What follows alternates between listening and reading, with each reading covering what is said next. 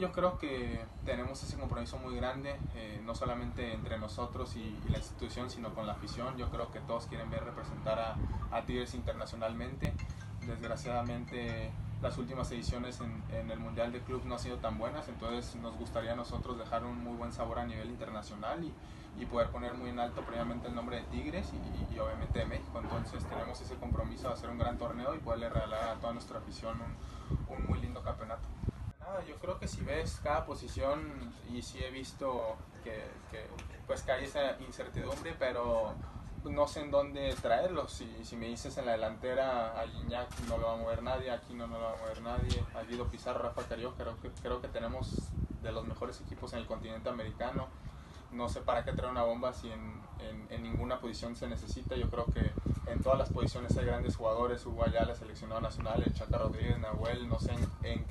quisiera la gente o ustedes traer una bomba, porque yo creo que el equipo está muy bien, con jugadores de muchísima calidad, todos seleccionados, y si volteas a ver a la banca en el último partido, estaba en el Valencia, estaba Celarayán, estaba yo, estaba Quiñones, entonces creo que tenemos un equipazo y no hay necesidad de traer jugadores por traer, yo creo que lo importante va a ser mantener la base y seguir como hasta ahora, ¿no? Eh, compitiendo, ganando campeonatos y lo más importante, regalar a la afición buenas cosas que, son los que siempre van, nos apoyan y están con nosotros siempre.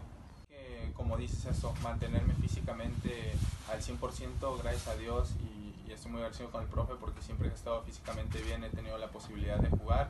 Eh, si he quedado fuera a veces de, de partidos es, es, por, mi, por mis mismas lesiones, entonces eh,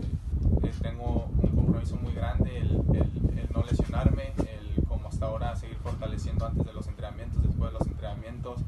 hacerme todavía un jugador más profesional para, para no tener esos detallitos que, que luego me, me, impidan volver a la titularidad. Y, bueno, eh, va a ser un torneo muy complicado con mucha competencia, entonces trataremos de, de, todos estar físicamente al 100 para, para aprovechar las oportunidades y bueno, en lo personal poderle aportar más al equipo, asistencias, goles para, para poder cumplir los objetivos que tenemos.